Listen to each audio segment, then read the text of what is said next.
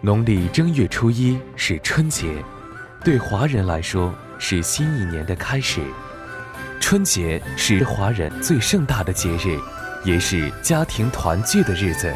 在新旧交替的时刻，陪伴在家人身边，是华人至关重要的仪式感。身处异乡的人们集中在春节期间返乡，形成一年一度全球最大规模的人口迁徙，也就是春运。春节是一个持续的庆祝过程，从农历十二月二十三或二十四的小年起，就算春节的开始了。人们会开始祭灶神、大扫除、买年货。贴春联等，一直忙碌到农历十二月三十的除夕。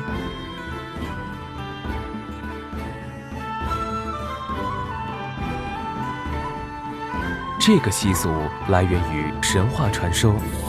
相传在远古时代，有一种怪兽叫年，每逢新旧岁之变，便出来危害人间。人们随后采取措施，把怪兽赶走。比如贴春联，因为年讨厌红色，并在门口燃烟火以吓走年。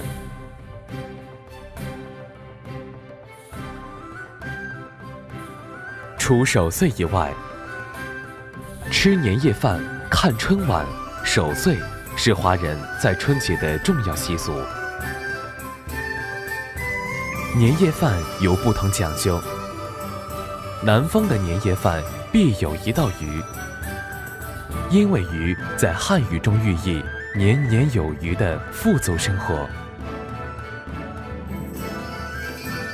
北方则吃饺子，有喜庆团圆和吉祥如意的寓意。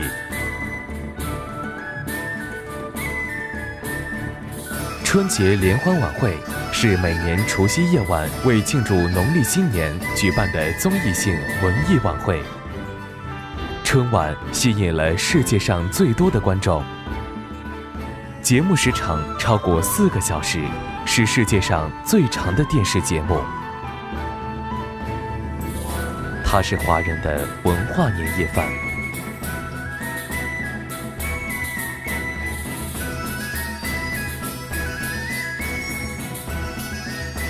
春节还有发红包的习俗，长辈把钱放进红色信封里，把它们送回给孩子们，祝愿他们在新的一年里平安好运。